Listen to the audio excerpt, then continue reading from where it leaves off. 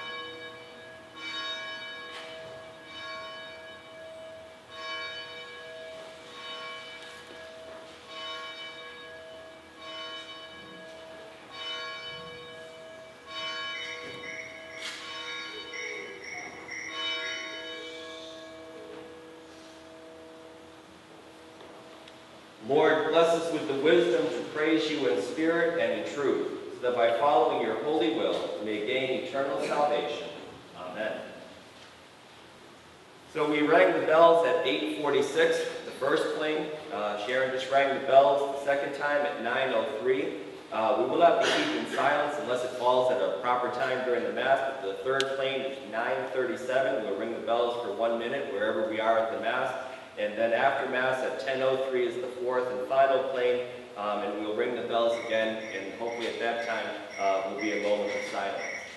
Oh, that's what, that's what that was. Um, so as we do gather on this day uh, with a with a recognition, there's a stark contrast today. There's the, there's the perversion of religion that is 9/11, uh, where it's not just Islamic faith, it's, it's any faith in general where fanaticism takes over and, and people who are different become evil and diabolical and you can do anything to them in God's name.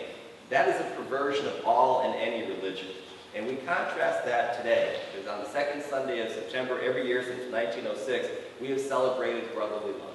And brotherly love is the exact opposite of what 9-11 stands for. And the dichotomy of those two coming together today on this 15th anniversary could not be stronger. Um, I wish this, this building was filled uh, because this is a message that needs to be shared. This is a message that we need to proclaim. This is a time when we should all be together in God's house to stand up for what God is really about, which is love one another as yourselves. And so as we do gather on this somber occasion, we're offering prayers uh, during the Mass for 9-11. Uh, but that will come and that will go. But God and our message of brotherly love will last forever. That is the precedence of today, and that's why we have the gold vestments on today. So as we do gather on this special day, the Feast of Brotherly Love, and also the 15th anniversary of the 9-11 terrorist attacks against our nation, I ask you to please make an examination of your conscience.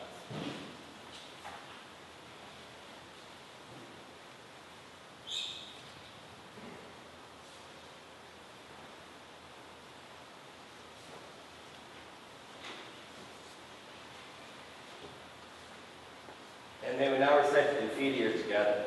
I confess to Almighty God, one in the Holy Trinity, who knows the innermost secrets of my heart, that I have sinned in thought, word, and deed, by my fault, by my fault, by my own great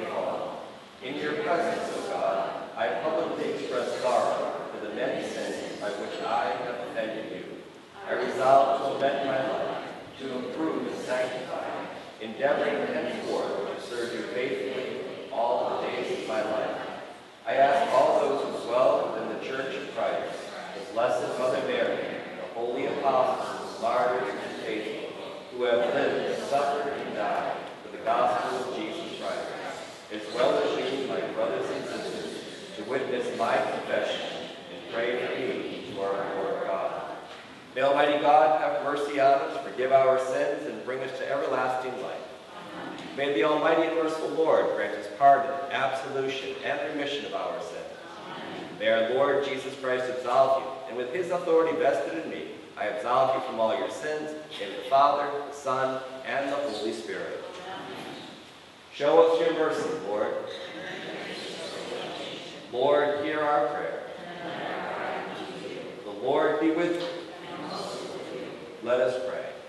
Grant, most gracious Father, that with purity of heart may worthily fulfill this holy action, established in remembrance of the Last Supper and the death of Jesus Christ, for our sanctification and salvation. Be present among us, Jesus, our most perfect Master, because you said there were two or three are gathered together in my name, you are among them.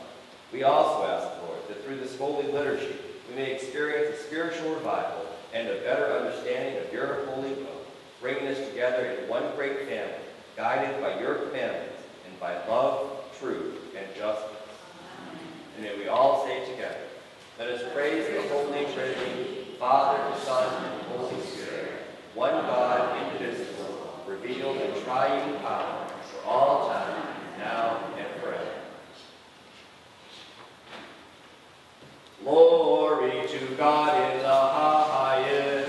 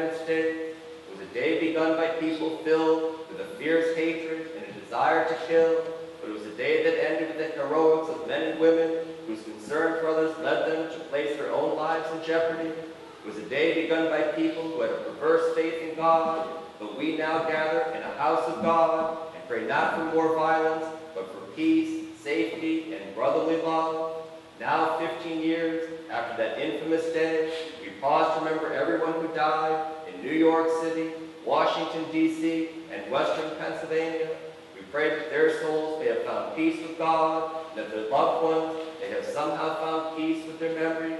Through the same Jesus Christ, our Son and our Lord, who lives and reigns with you in the unity of the Holy Spirit, one God forever and ever.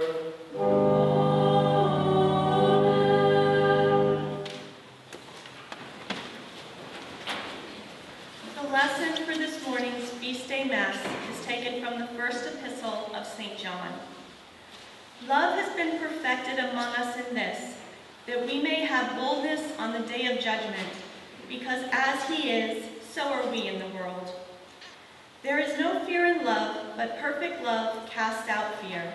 For fear has to do with punishment, and whoever fears has not reached perfection in love. We love because he first loved us. Those who say, I love God, and hate their brothers or sisters are liars. For those who do not love a brother or sister whom they have seen cannot love God whom they have not seen. The commandment we have from him is this those who love God must love their brothers and sisters also. This is the word of God. God. If your brother sins, rebuke him. If he repents, forgive him.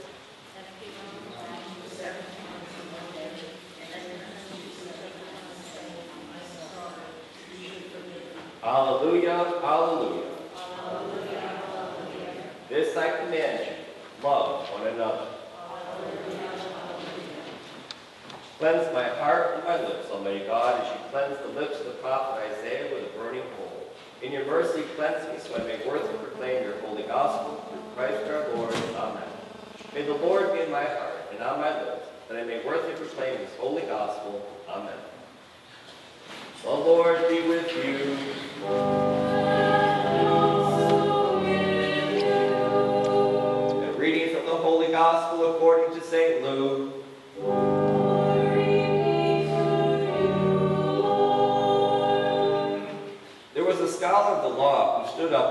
Jesus by saying, Teacher, what must I do to inherit eternal life?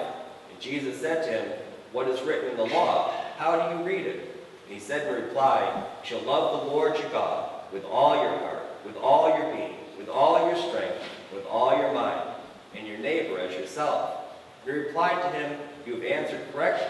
Do this, and you will live.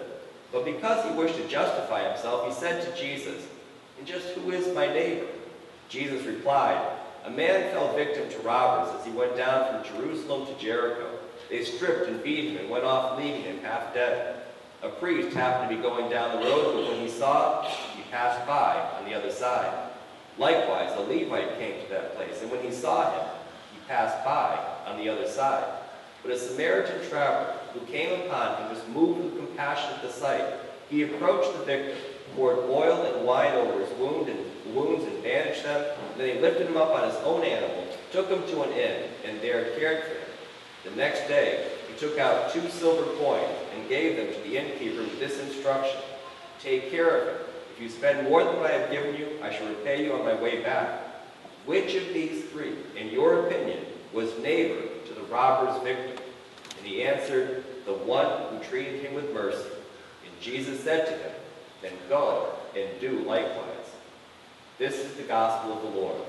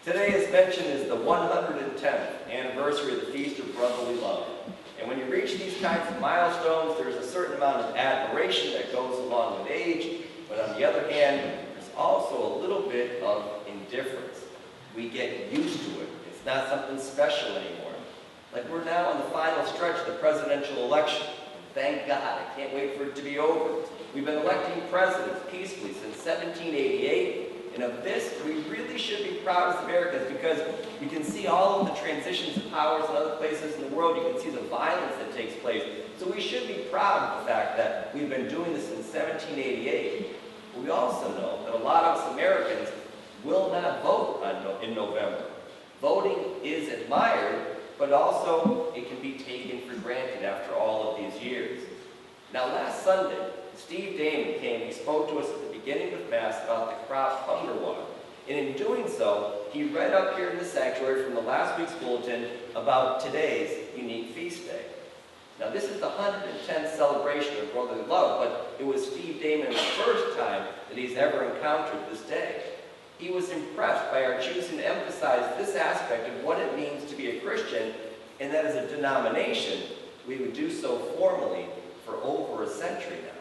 And hopefully his first time reaction to remind those of us, those of us may have grown accustomed to this feast day, and maybe all that it stands for is just something that we hear over and over again, maybe his reaction can help us to be inspired again by its message and its call to um, action to live brotherly love just a little bit more.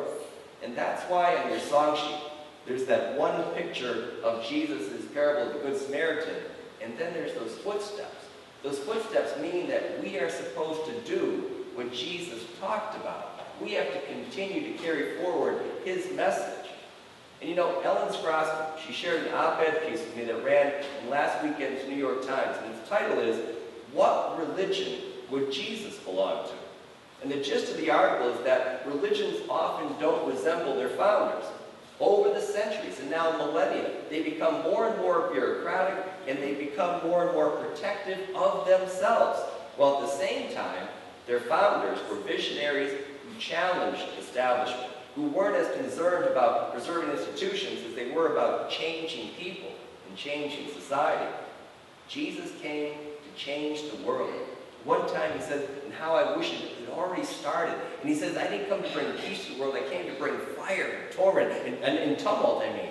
And so Jesus came to set this whole thing on its head. He came to turn it upside down. He wanted to turn attention and inspiration away from wealth and power and towards helping the sick and the poor. He condemned pride and he honored humility. He tried to tear down barriers that separate people so that we can see what we held in common. And you know, this may be a little bit of an extreme comparison, but the Jewish people hated the Samaritans. They were the religious enemies of the Jews. They were so close that they were so far apart that they knew that closeness is what made it even worse because they said, you should be us, and yet they weren't.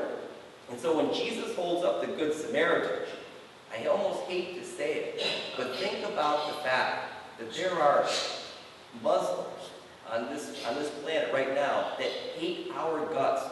You know, they absolutely hate us. They're the fanatical Muslims. And our job is to, in Jesus' parables, that he would hold one of them up as something, as the person doing the good. And he did that to make the comparison absolutely clear that the worst person that we can imagine, all of those horrible people that flew planes into, into buildings, that somehow Jesus says he's the one that he held up as the example because of what good he can do. So it's not about the person, it's about what the person does. What they did on 9-11 is absolutely horrible and it's unforgivable. But that doesn't mean that that person can't have some turnaround and maybe do a little bit of good. And that is so hard to accept because we are still, after 15 years, filled with so much hatred of what they did. And we should be upset by what they did. We should be upset by you know, the, the, the hatred they did in God's name. But we can't hate a whole people because of that. And that's why Jesus chose the Samaritan. The Jews had a visceral hatred for the Samaritans. And Jesus took the Samaritan and held him up above the priest, up above the Levite. How hard is that to do? I have trouble doing that. I can't do that. But Jesus says that's what we have to do. Now, this whole idea about brotherly love, it may be summarized in no better fashion than in Jesus' parable, that Good Samaritan. For practical and religious reasons, the priest walks by on the side. The Levite walks by on the other side of that stranger who was robbed and left to be dead. And no one word, not one word said about why they do that. Jesus doesn't care about why they do that. What commands his attention is what the Samaritan, that hated Samaritan, did. And Jesus also spends no time on why the Samaritan stopped and helped. All he concentrates on is what he did. The people of 9-11 did horrible things. But you know, we can't again condemn all Muslims because of what those idiots did in the name of God. They had insulted God, their God, as well as ours. So then Jesus asked the question of the lawyer who was testing him, and the question makes it way into today's gospel because it's meant for all of us too. Which of these three, do you think, was a neighbor to the man who fell into the hands of the robbers? And the answer to that question, for all three of them, is what did they do? Not that the priest was in church, not that the Levite helped the worship in the temple, not that the Samaritan was a hated man, but what did they do? That's what we have to look at, is each person. What do we do? Not everybody in a group is bad. Not everybody in a group is good. What does that person do is the message of the Good Samaritan. Jesus is making clear to us that what we do is what God counts as most important. Think back to that question of the lawyer. The lawyer begins the conversation by asking Jesus, What must I do to inherit eternal life? And Jesus doesn't ignore the spiritual and the theological aspects of salvation, of getting into heaven. Jesus' first question, the lawyer, is to ask him, What do you find written in the law? And the lawyer answers with the two commands of love. The first one is, Love God completely, all your heart, all your mind, all your soul, all your strength, and then love your neighbor as yourself. You can't fly a plane into a tower and attack, you know, hundreds and thousands of civilians and say, I love my neighbor as myself. That's a perversion of religion, what they did. Jesus commends the lawyer, and he tells him after the two commands of love, he says, do this. You know, it's one thing to think it, but those footsteps are on the song sheet because we have to follow what Jesus said. We have to do this. We have to do it even when it hurts. We have to try and love those we just deep down, viscerally, do not like. Again, the emphasis is upon what we do. But the lawyer gets all caught up in legalese and he misses Jesus' point. He wants definitions. He wants what must be done so he can just cross that line and not do one thing more. He's looking for possible loopholes when he gets into God's court. So Jesus tries to steer him the other way, away from playing with words and definitions and towards what we do. And Jesus makes it as clear as possible. He says, be the Good Samaritan. When we act like the Good Samaritan, then obviously we love our neighbor. But surprisingly, and this is one of the unique and beautiful attributes of Christianity, Jesus says when we love our neighbor, that's the same as loving God. God is so magnanimous that when we are good and kind to our neighbor, God counts that as love of him as well. At this point, Jesus could have delved into a long parable about the nature of God, but instead Jesus offers one of his longest parables, and it's all about the message that you have to love each other in what we do. Jesus blatantly is unconcerned about the fact that the Samaritan is not a Jew, that he worships incorrectly at the wrong temple, with the wrong priesthood, with the wrong theology. Or maybe I shouldn't say that Jesus is unconcerned about all these things. Maybe that's exactly Jesus' point. Maybe it isn't so important what we call ourselves, or where we worship, or what we believe. Maybe it's what we do in the name of brotherly love that God counts as important. Remember, Jesus comes into the world, and what he says is what God says. And Jesus is saying, brotherly love is the most important. The next question a lot of our minds then is if all this do stuff is so important, then why even bother coming to church? Why bother coming to worship? Why bother sitting down and listening to words when Jesus said it's all about what we do? Why come and just sit? Well, first of all, because Jesus began with the two commandments of love, and the first one is love God completely. To me, this means that we should be a church that makes a loving God present to us and to all others around us. Remember the other reading this morning that Sharon shared. John says that fear and love cannot cohabitate. The one who has fear of God cannot really love God. You know, if you're a little kid out in the playground and there's a big bully, and that bully, you know, you're nice to the bully only because you're afraid of what the bully's going to do to you. You don't love the bully, you're afraid of the bully. If you're afraid of God, you do everything you're supposed to because you're afraid of God, that's not a relationship with God. That's a relationship with a bully. And God deserves more than being thought of as a bully. Our church does not preach a fearful God, a God of hell and damnation. And the only reason we preach about coming to Christ is because Christ is worth it. Not out of the fear of what not coming to Christ is all about. And it is this theology of a loving God that has led us for 110 years to emphasize brotherly love. Because that's what Jesus did. He emphasized brotherly love.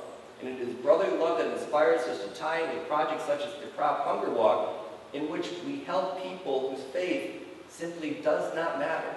We don't know who we are going to help and what church they go to, or what mosque they go to, or what synagogue they go to. We don't know anything about them. We don't know what their theology is, because it doesn't matter. We don't know what race they are, because it doesn't matter. We don't know what nationality they are, because it doesn't matter. Because all that matters, just like in today's gospel, is that we are striving to help another person in desperate need. And even the New York Times, in that article that Ellen shared, points out that, quote, religious Americans donate far more to charity and volunteer more than secular Americans do. That means that what we do here, sitting and just listening to words, makes a difference in what we do outside of here. So may this feast day continue to inspire us and to challenge us. And even if you're upset by some of the things I said, I'm upset having to say them because I haven't got there yet. I can't do what Jesus said we have to do. That's the purpose of Jesus' parables. They're not just to make us feel good. They are also about making us challenged to be better people, to have those footsteps that follow after that image of the Good Samaritan. That's our job, to be people of brotherly love, even when it hurts, even when it's so hard to understand how we can possibly do that in a world that is filled with things like 9-11. But that's what Jesus asks, asks us to do, to be people of brotherly love. And for that we pray in Jesus' name, amen. In the name of the Father, and of the Son, and of the Holy Spirit. Amen.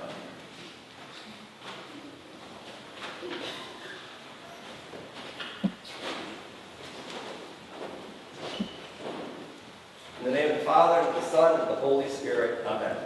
Oh, Almighty Lord, as we gather before your altar on this Easter brotherly love, pray that we may learn that lesson better each and every day. We also offer our prayers for the following who are battling cancer. Meg Connors by Ellen and Don Skrosky. Brandy Clemens by grandmother Dottie Baronis. Carl Dickinson by Joe and Peg Puster. Fathers Ray Drader, Jan Vielchek, and Maurice Lizelle is offered by myself. Richard Poe is offered by the Poe and Foster families. Two-year-old Jack Sella is offered by Mariana Foster. Frank Skrosky is offered by his twin brother Don, Skrosky, Gates, and Kirkendall families. Also, Liz Bridgman, recently diagnosed with cancer and raising three young girls on her own, is offered by Cindy Benjamin. Also, a private attention for a friend who is battling cancer is offered by myself. We also offer prayers for Brandon Poe, that the doctors may be able to treat his heart condition successfully, and for his family and friends during this very stressful time is offered by the uh, Foster and Poe families and all of his friends here at Holy Name of Jesus. Are there any prayers you'd like to offer from the congregation? For all of these prayers, Lord, along with private ones that we keep in the privacy of our thoughts as we come to church, and also we ask you, Lord, to bless each and every one of us here gathered, and bless also those who are parish who are unable to be with us here today, and those who are parish who have chosen not to be with us here today. And for these things together, Lord, we pray by saying, Our Father, who art in heaven, hallowed be thy name. Thy kingdom come, thy will be done, on earth as it is in heaven.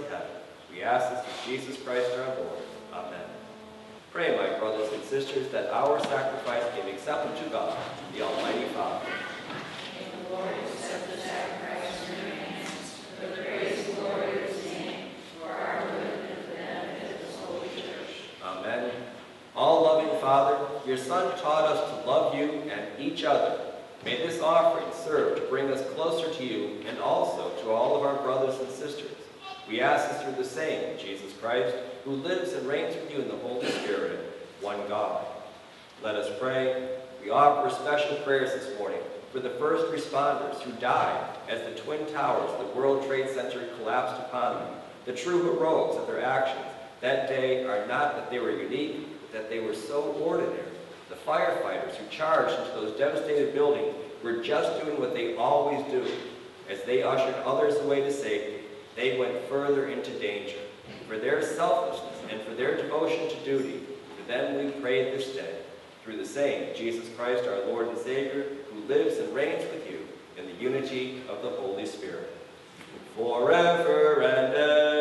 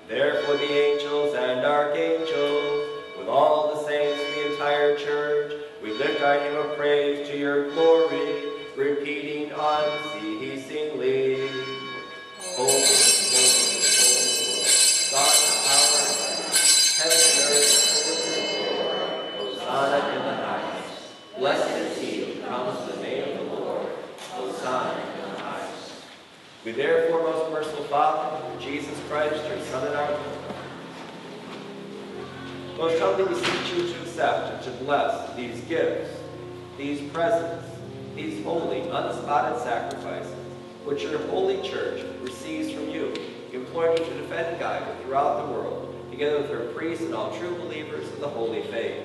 Remember, Lord, your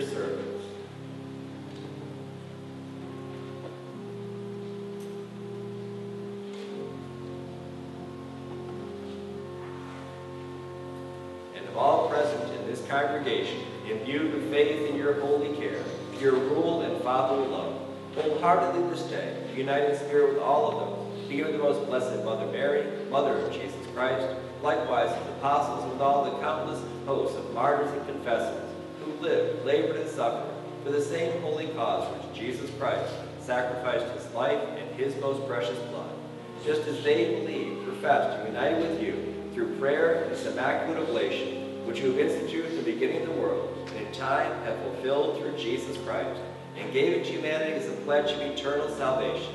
So we too this day profess and unite ourselves with you, most gracious Father, in humbleness of spirit, and accept from your hands this holy bread and this precious chalice as a longed-for gift bestowed on us by the Savior of the world as spiritual food and drink. He promised us this food and drink in that moment when he revealed his divine power by the multiplication of bread and feeding with it a hungry multitude of people. And afterward you were told to give that food and drink to disciples and friends as more excellent nourishment when he said, It is my Father who gives you the real heavenly bread. I myself am the living bread come down from heaven. If anyone eats of this bread, he shall live forever. The bread I will give is my flesh for the life of the world. And afterwards, in the temple and messianic life, when the divine teacher and giver of the covenant was drawing to a close, he gathered into the upper room all of those who had loved in a singular way and had chosen to continue his work of salvation. He spoke to them words of deep love, longing, and resolve. I will not leave you orphaned. I will come back to you. I am the way, the truth, and the life. You are my friends if you do what I command you. Do not be distressed, distressed or fearful. You will suffer the world, but take courage. I have overcome the world. If you live in me, and my words stay a part of you, you may ask what you will, and it will be done for you. Anyone who loves me will be true to my word. My Father will love him. We will come to him and make our dwelling place with him. I consecrate myself for their sakes now, that they may be consecrated in truth, that all may be one, as you, Father, are in me and I in you. I pray that they may be one in us, that the world may believe that you sent me. I have given them the glory you gave me, that they may be one as we are one. I living in them, you living in me, that their unity may be complete. Father, all those you gave me I would have in my company, where I am to see this glory of mine, which is your gift to me. Because of your love, you bore me before the world began. I myself am the bread of life. No one who comes to me shall ever be hungry. No one who believes in me shall ever be thirsty. After these and other words of the archpriest in prayer and with holy fervor, our Savior took bread into his holy and venerable hands. And having lifted his eyes to heaven, to you, his almighty Father, giving thanks to you, he blessed it, broke it, and gave it to his disciples, saying, Take this, all of you, and eat it, for this is my body, which is given for you.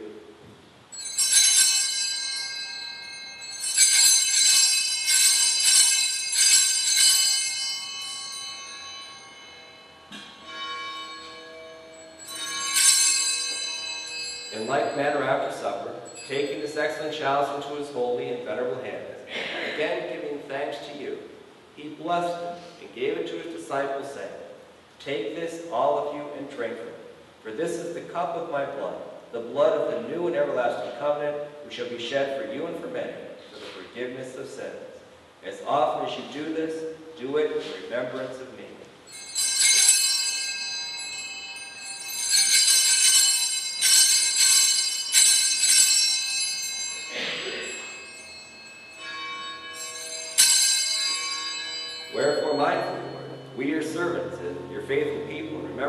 This Christ your Son, our Lord, as well as his blessed passion, resurrection, and his glorious ascension, receive from your own gifts and presents a pure offering, a holy offering, an immaculate offering, the holy bread of eternal life, and the chalice of eternal salvation.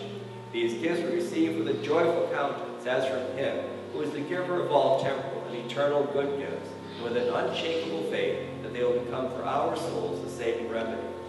Humbly ask, Almighty God, to command that our offerings be brought by the hands of your holy angel to your highest altar, into the presence of your divine majesty. That we who receive the most sacred body and blood of your Son from this altar may be filled with every blessing and grace through Christ our Lord. Amen. Lord, remember your servants who have gone before us with the sign of faith and who have passed on to eternity.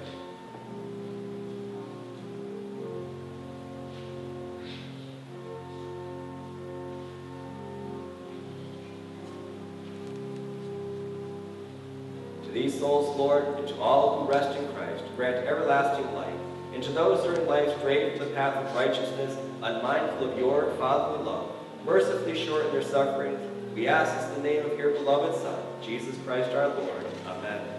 And grant us, your essential servants, who hope in the greatness of your mercy, some part in fellowship with your holy apostles and martyrs and all your saints, who shed their blood for your name. Their hearts are always open to justice and mercy, and with lives patterned after the divine Master, merited eternal joy. Numbers of their company, Lord, not weighing our merits, but pardoning our offenses, through Jesus Christ our Lord. Amen.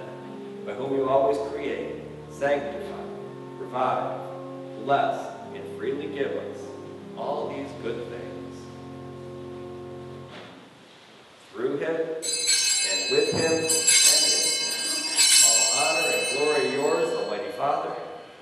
unity of the Holy Spirit.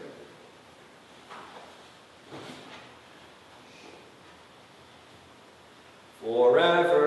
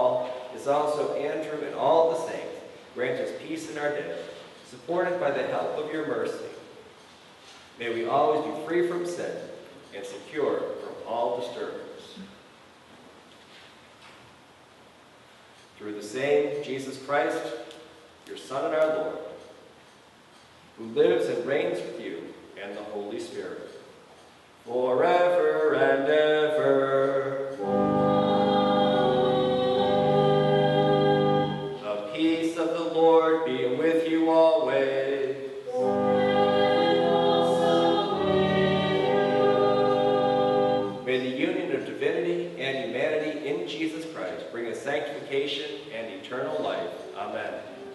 Lamb of God, you take away the sins of the world, have mercy on us.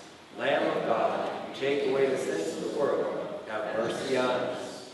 Lamb of God, you take away the sins of the world, grant us peace. Lord Jesus Christ, you said to your apostles, I leave you peace, my peace I give you. Not look at our sins, from the faith of your church, and grant her the peace and unity of your kingdom. You live and reign forever and ever. Amen. Lord Jesus Christ, Son of the living God, by the will of the Father and the work of the Holy Spirit, your death brought life to the world. By your holy body and blood, free me from all my sins and from every evil. Keep me faithful to your teaching, and never let me be parted from you, who lives and reigns forever and ever. Amen. May the partaking of your body and blood, Lord Jesus, not be cause for my judgment, though I am unworthy to receive this great sacrament, through your loving kindness may become my safeguard and healing remedy. My saving Master awakened me, living faith, fervent love, worship, adoration, and a holy longing. Through this communion, make me your willing servant, zealous to fulfill your holy will. May at last unite be united with you, my Lord and my God. Grant this who lives reigns with God the Father, in the unity of the Holy Spirit, forever and ever. Amen. I will take the bread of heaven, and I will call upon the name of the Lord. Lord, I am not worthy to receive you, but only say the word, and I shall be healed. May the body of our Lord Jesus Christ bring me to everlasting life. Amen.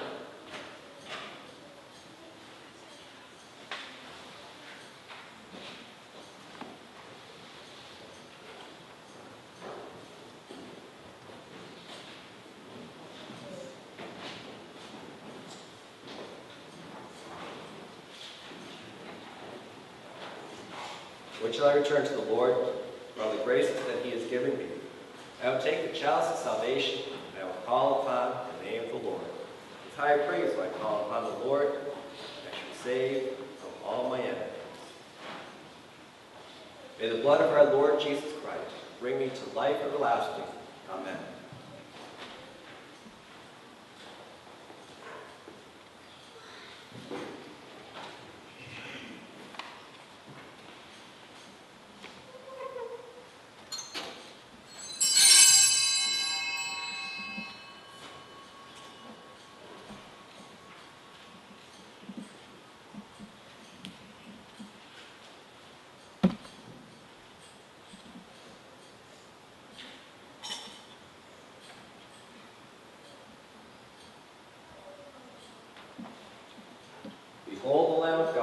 States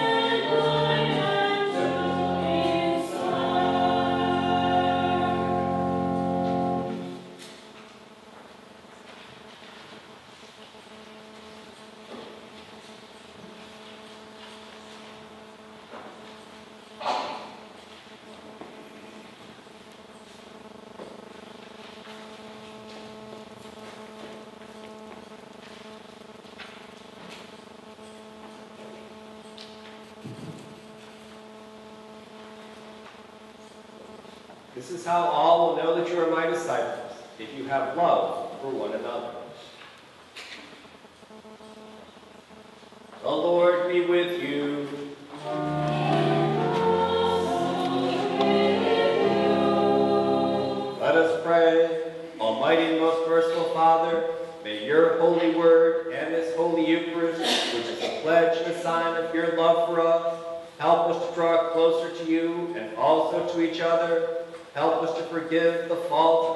brothers and sisters, as you have promised to forgive us. We ask this through our Lord Jesus Christ, your Son, who lives and reigns with you in the Holy Spirit, one God, forever and ever. Let us pray. On September 11th, the Pentagon was also struck. There is a profound difference between the men and women of the American Armed Forces and the terrorists. We turn to war as a last resort. Terrorists have turned to it as their only resort. We struggle to protect the civilian and the innocent. The terrorist targets these very same people. Since September 11th, our military personnel have been called upon to fight a savage foe and often far away and inhospitable places. If they have performed all they've been asked to do, and we pray today, as we remember the savagery of September 11th, for the peaceable and safe world, that those who serve in our military may come home to their loving families, for their selflessness and their devotion to duty, for them we pray this day, through the same Jesus Christ, your Son our Lord, who lives and reigns with you in the unity of the Holy Spirit, one God forever and ever.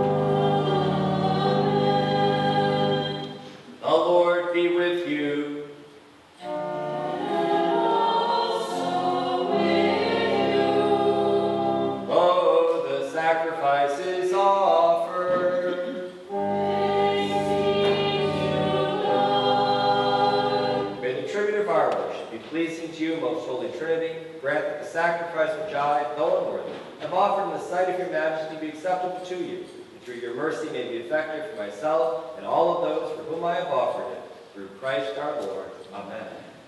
May Almighty God bless you. The Father, the Son, and the Holy Spirit. The Lord be with you. A reading from the Holy Gospel according to St. John. The beginning was the Word, and the Word was in God's presence, and the Word was God. He was present to God in the beginning. Through him all things came into being, and apart from him nothing came to be. Whatever came to be in him found life, life for the light of men. The light shines out in darkness, the darkness that did not overcome. There was a man named a man named John sent by God, who came as a witness to testify to the light, so that through him all might believe, but only to testify to the light, for he himself was not the light. The real light which gives light to every man was coming into the world. He was in the world, and through him the world was made, yet the world did not know who he was. To his own he came, but his own did not accept him. And he who did accept him, empowered to become children of God. These are they who believe in his name, were begotten not by blood, nor by carnal desire, nor by man's willingness, but by God. And the Word became flesh and made his dwelling among us. We have seen his glory, the glory of an only Son, coming from the Father, filled with enduring love.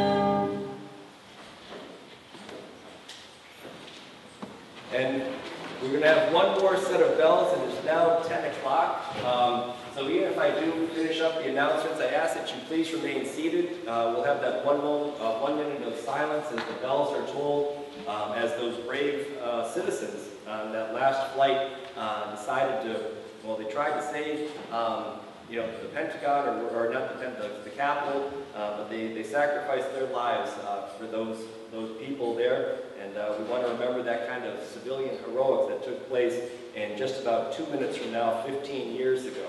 Uh, we'll just have a moment silence.